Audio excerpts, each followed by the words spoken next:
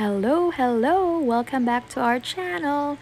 Anyways, today we will be making borax solution para sa pag-get rid of ants, you know? So, kanto siya. Nagbubo og sugar. That's uh, one-third cup of sugar. Then, boiling water nga 500, ano, 250 ml na siya nga boiling water.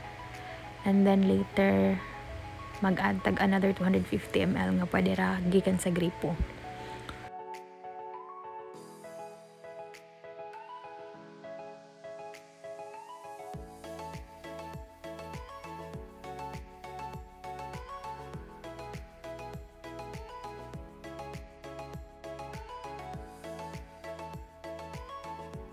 Mag-add na ta at this point og water gikan sa gripo So, kana siya. Ang remaining sa 500 ml. Kaya ang atong requirement, 1 3 cup sugar, 500 ml water, and a teaspoon of borax. Mora na siya, guys. Inga na ka simple. So, karon magbutang na ta sa borax. And then, by the way, sa kung ano ni siya guys, sa Shopee or Lazada, pwede mo maka-order.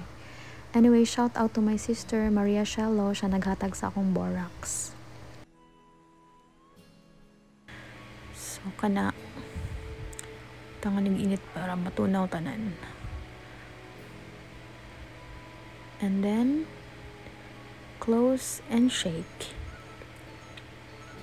Wata lang uh, ma-mix tanan. And then, igmahuman na na. Pwede ni mo butangan og label. Ako na kang buot-buot anti-ant. Anyways, So, kahuman ana, ako siyang gisud sa container nga naibuslot sa kilid. Butang na to sa mga corner sa house. So, kani siya, one corner lang ni. After 3 to 5 days, mo na siya guys. Oh, di ba? Effective! Grabe, nakaka-proud. Ika na siya ni Slater Young. So, ang ingon ni Kuya Slater, dili daghan og borax ibutang para dili mamatay ang ants diretsyo. Makadapa silag poison sa ilang colony. So that's all for today. Bye bye. See you again on the next vlog.